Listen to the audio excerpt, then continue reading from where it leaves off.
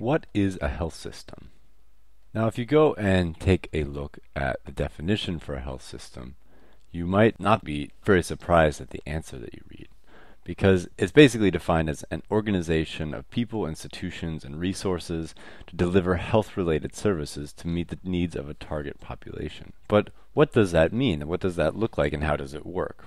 Obviously, it works very different in different countries. And I was doing some research for this and trying to find out ways that I could diagram this concept. And it's almost impossible to find a simple diagram of this. So we're going to try right now, but I'm not sure if we're going to succeed. So we're going to start with kind of what is meant to be at the core of healthcare, which is prevention and care. So this is kind of the main function of that.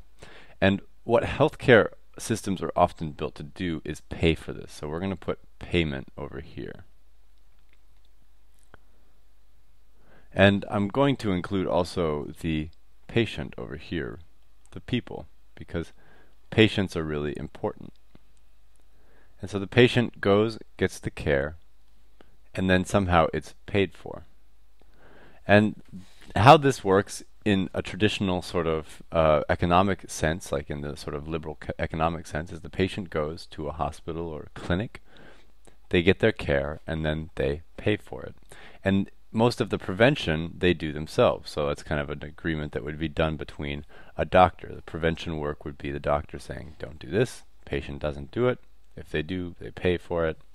And that's just a very simple system. But in the modern era, healthcare has become obviously much more expensive and harder to manage. There's so many different kinds of diseases out there. There's so many things that need to be taken care of. And slowly over time, things have started popping up in order to sort of take care of this.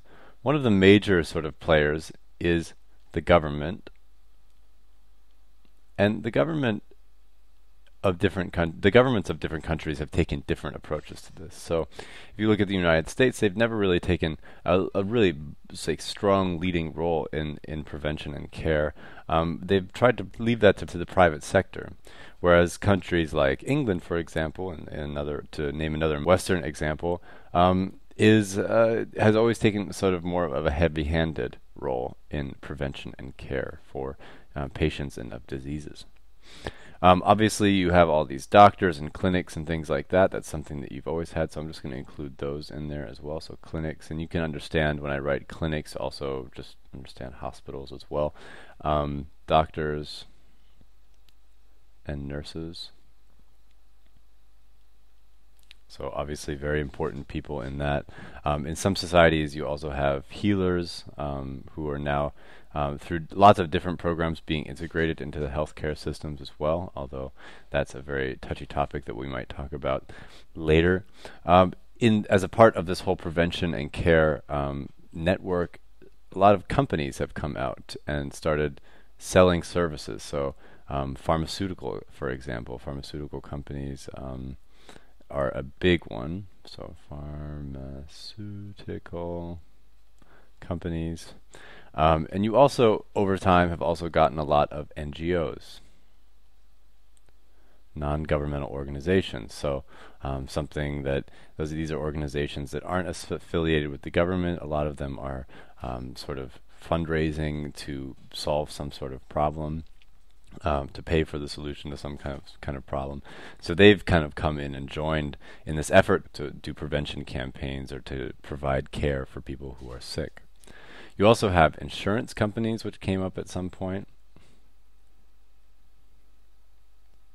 and who are a very strong in certain in certain countries, um, a very strong component of the entire system. They are a very deciding factor in all of this. And they are sometimes related directly to the prevention and care, although that actually, I should maybe put that as a dotted line because that's not always the case. Um, in some places they are, in some places they're not. Uh, and then they, they're always involved in payment because that's essentially what they were built to do. Insurance companies were built to pay for these problems. And they are directly related, obviously, to the customer, so to the patient their customer, the patient.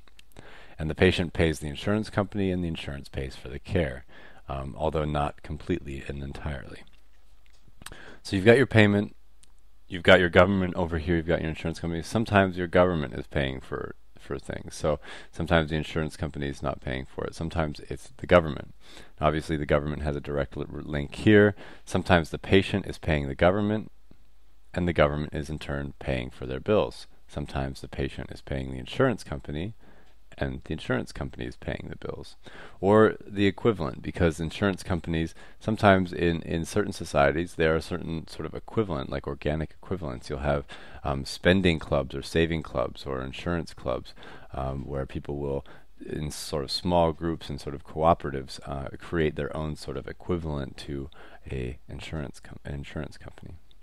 You also have employers. So in some countries, uh, in many countries actually, employers play a big role in the insurance, paying for insurance. So obviously, the employer has a connection to the patient because they work for them, and sometimes, so sometimes in, uh, in some systems, the employer is paying for a certain part of the care. Sometimes, and not as commonly, but sometimes the employer is actually providing the care. So large companies will sometimes have um, their own clinic and their own prevention programs and things like that.